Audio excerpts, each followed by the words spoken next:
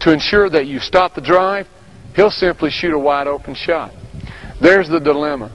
Now, here's the answer, and it's all in technique. First, sprint until you're within one stride of reaching him. Then, chop your steps in order to bring your body and base under control. While shortening your steps, throw up your lead hand to discourage the shot.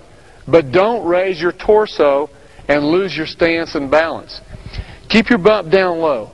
You'll have a low center of gravity and be able to change directions in case he drives.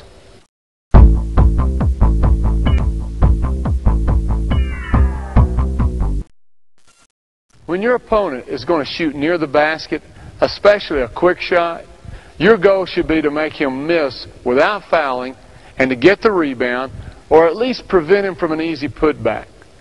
The technique to change his shot is easy. Shoot both hands up so your arms are vertical and form a wall. Hopefully you'll hinder his vision or make him shoot a little bit higher than normal.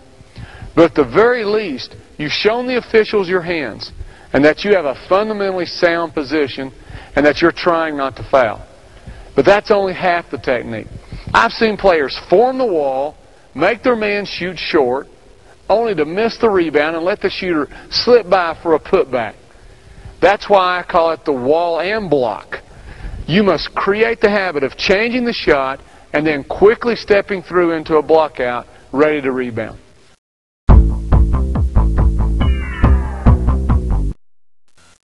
What if you've played perfect defense and cut off your opponent's drive, but he doesn't stop? He's determined to drive through you, or maybe he can't stop. Possibly he thinks he can slip by you at the last second.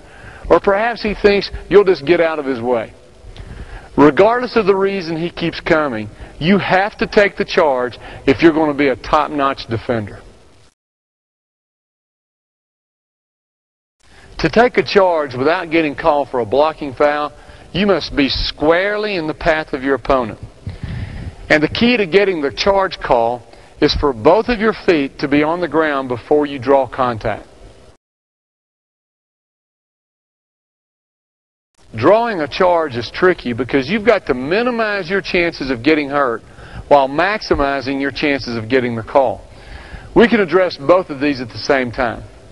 As your man starts to barrel into you, have your weight or center of gravity on your heels. Let your torso straighten a bit, but keep your bump out and your knees bent in an athletic position. This will put your head behind the line of your knees, and as we said earlier, this will affect your balance and make it easier to knock you down. Now, there are different ways you can use your hands and arms to protect yourself. But I favor holding one arm up and one arm down. This allows you to protect your groin, midsection, and face all at the same time. Knowing you're protected keeps you from turning your head. Because if you do, your head will turn your torso and the official won't make the call. In fact, he'll change the call to a block on you. If you try to hold your ground when you get hit by a player moving at full speed, you're asking to get hurt. Instead, time his contact with your weight going backwards and get a little air under your feet. Being an inch off the ground helps to absorb the blow. Tuck your chin to your chest to protect the back of your head from hitting the floor. Fall on your bump, slap the floor with your palms, and slide backwards. This helps spread the impact. It also ensures that you don't break your fall with your hands first. If you do this, you could break your wrist. And hey, a little acting goes a long way. Let the air be forced out of you at the point of contact with a loud ah! and defense is over. But if you're up against a quality opponent whom you can't take the ball from, then just take away his best option. Force him to use his weak hand or force him to a bad area. But what if you can't dictate what you want him to do? Then at least influence him. And if you're up against Jordan and you can't influence him, then at least stay between him and the goal. My point here is control. You must control the offensive player to whatever extent you can. The following four chapters are not about how to dominate a player that you're athletically superior to. Rather, we're going to prepare you for defending the best players taking your defensive game to the next level.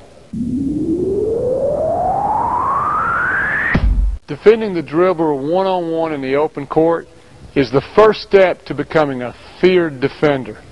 Hey, his team can't score if he can't get the ball past half court.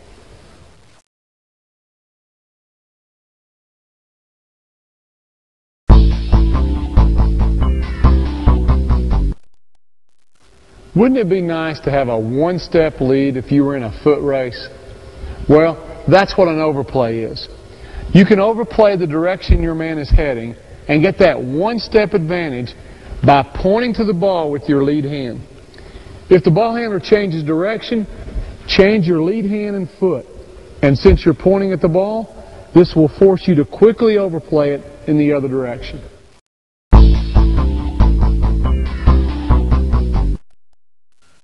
Don't let your man square himself to the goal. There are too many options, too many fakes available for him.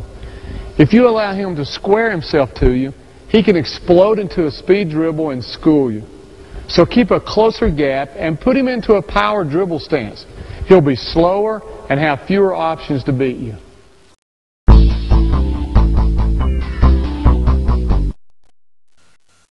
Angle the dribbler to an out-of-bounds line. Then as he approaches it, speed up to cut off any opportunity for him to slip by. Use the out-of-bounds line as another defender. Think one-man trap.